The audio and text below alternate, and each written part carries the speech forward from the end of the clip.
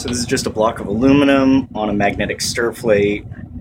We made it to heat up some vials, and look what happens by accident.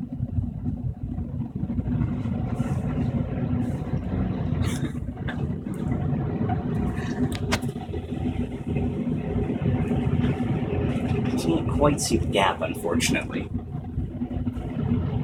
It runs really smooth, it's levitating, and then it goes unstable and it falls off.